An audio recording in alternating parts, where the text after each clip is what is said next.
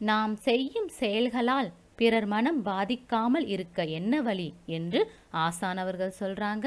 வாங்க என்ன சொல்றாங்கன்னு கேட்கலாம். செய்தான். உயிர் கொலை செய்வது பாவம் என்று நினைத்து விட்டான். உண்மை அன்பில் என்ன செய்தான்?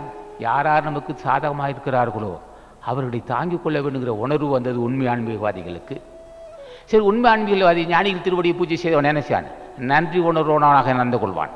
இங்கே தொண்டு செய்து மட்டும் போனான் இந்த இங்கே தொண்டு செய்த யாராக இருந்தாலும் சரி.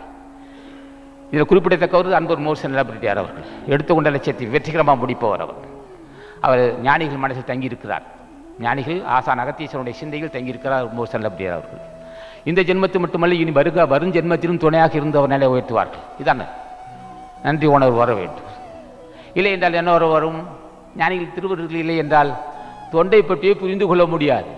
இவன் யார்? இரவு பகல் தொண்டு செய்கிறான். அடக்கமாக தொண்டு செய்கிறான். அன்பு நோற்றோ தொண்டு செய்கிறான். தன்னை அர்ப்பணிக்கின்றான். கைவிடாதே இவனை. என்று அந்த உணர்வு ஆசான் அகத்தீசன் ஆசி இல்லாமல் வர்றாது இதை தொண்டு செஞ்சால் போனா போடான்னு போடுறான். வருமா இந்த உணர்வு இந்த தொண்டர்களுக்கு? இந்த சங்கத்தார்களுக்கு வரவே வராது. என்ன காரணம்?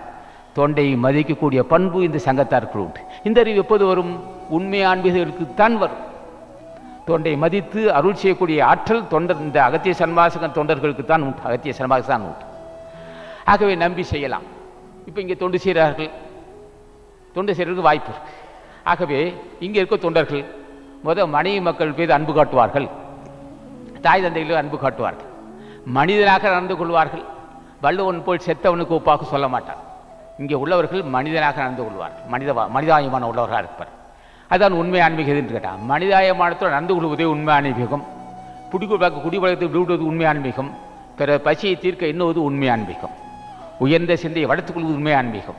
ஐயோ பாவம் என்று எண்ண இறங்க அந்த ஐயோ பாவம் என்று இறங்குகின்ற எண்ணத்தை உருவாக்குவது உண்மை ஆன்மீகம் தான். இப்போ இந்த சங்கம் உண்மை ஆன்மீகத்தை போற்றுவது. திருவள் துணை இல்லாமல் உண்மை ஆன்மீகம் வராது. ஆக அன்பன் மாதவன் சொன்னது போல் உண்மை ஆன்மீகம் இந்த சங்கம். உண்மை ஆன்மீகத்துக்குரிய சங்கம். பகுத்து காட்டக்கூடிய பாதை தெளிவாக இருக்கும். தவறான பாதை காட்ட மாட்டார்கள். உனக்கு வந்த துன்பத்துக்கு யாரையே காரணம்? நீ அன்னதானம் செய்யன்னு சொல்லுவாங்க. ஜீவ தவறான பாதை காட்ட மாட்டார்கள். தானும் தவறான பாதைக்கு போக மாட்டார்கள். தானும் தவறான காரியம் செய்ய மாட்டார்கள் தவறான காரியம் பாதை காட்ட மாட்டார்கள். இதுதான் இந்த சங்கத்தோட ஆக ஒவ்வொரு நாள் இன்றைய பொழுது எப்படி இருக்குன்னா இன்றைய பொழுது யாரில் பே யாரிடம் பேசணும் ஆசான் கேட்குறோம். ஆசான் அகத்தீசனை கேட்குறோம். ஐயா நான் பேசும்போது கோபமாக பேசுகிறேன் நான் முன் செய்த பாவம். அடிக்கடி கோபம் வருது. பிறர் மனது புண்பட பேசுகிறேன். இருந்து விடுபட அருள் செய்ய வேண்டும். நீதான் அருள் செய்யணும்னு கேட்டால் அது உண்மை ஆன்மீகம் அதை கேட்க கேட்க வேண்டும் அல்லவா என்னால் பிறர் மனசும் நான் பேசுவதால் பிறர் மனம் புண்படுகிறது ஐயா. எனக்கு உணர முடியாத ஒரு மூர்க்கத்தனத்தை கொடுத்துருக்கிய பாவி. நான் பாவியா நீ பாவியா? இவ்வளான உன்னை பூஜை செய்கிறேன் என்னால் பிறர் துன்பப்படுறானே? அது உணர முடியாத அறிவு எனக்கு தந்திருக்கு இல்லையே. நான் என்னையா செஞ்சேன் ஆசானது அருளுரைகளை தொடர்ந்து கேட்க அரங்கர் டிவிக்கு லைக் பண்ணுங்க சப்ஸ்கிரைப் பண்ணுங்க. மறக்காம பெல் பட்டனையும் கிளிக் பண்ணுங்க.